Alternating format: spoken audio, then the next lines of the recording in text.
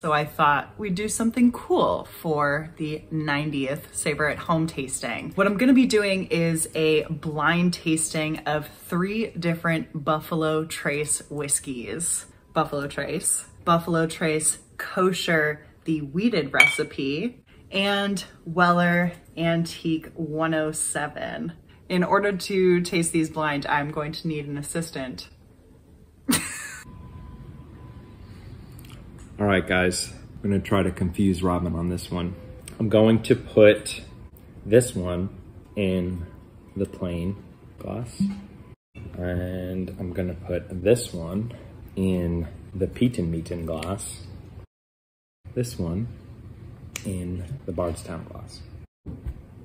We'll start with the plain Glencairn Bardstown bourbon glass. Last one, Peatin Meatin.